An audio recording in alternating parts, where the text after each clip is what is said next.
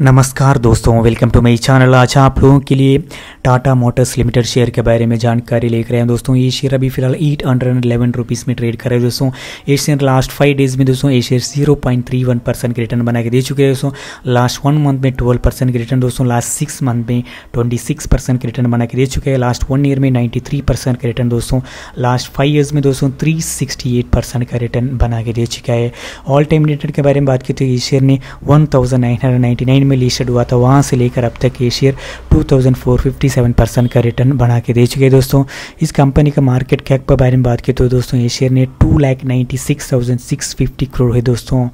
एक fundamentally strong company दोस्तों। आने वाला टाइम अच्छा खासा रिटर्न अच्छा खासा प्रॉफिट भी यहाँ पर कंपनी पर देखने को मिल सकते हैं दोस्तों। इस कंपनी का डिविडेंड यील्ड भी ज़ीरो पॉइंट टू फाइव है। लास्ट वन ईयर में आई हुआ है एट ट्वेंटी एट लो हुआ है दोस्तों फोर हंड्रेड दोस्तों।